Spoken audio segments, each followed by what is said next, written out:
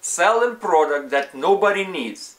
It's one of the major, if not the major reason, why Shopify stores struggle to generate enough income to stay profitable and because of that some Shopify store are even going out of business altogether. If that sounds like you, then I feel your pain. I know your frustration because I've been there. Though subsequently my Shopify store has generated 250,000, it wasn't a smooth sailing for me at all in the very beginning. In fact, my Shopify store had negative sales balance during the first six months in business. Well, I will tell you what was wrong with my store. I was trying to peddle to my potential buyers turds or items they did not want. You see, the problem is I try very hard to reinvent the wheel instead of duplicating the wheel. I thought I'm smart enough to reinvent the wheel, but I was wrong for even trying it. When I have finally realized, and with help from my mentor, I used very simple but specific technique.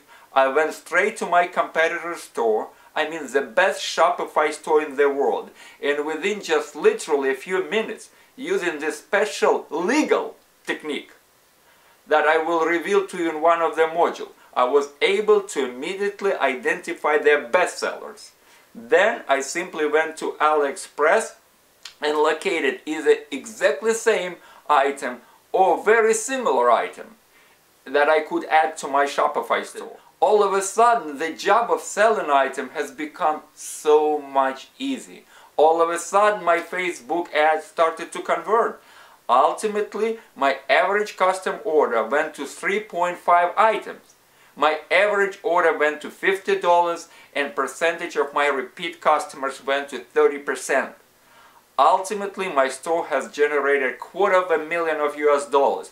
It was amazing and has altered the course of my business and my entire life. This course has exact blueprint I have used myself to search and find world bestsellers. Rest assured, I have not left anything out. And that means you could watch my detailed instructional videos and duplicate my success.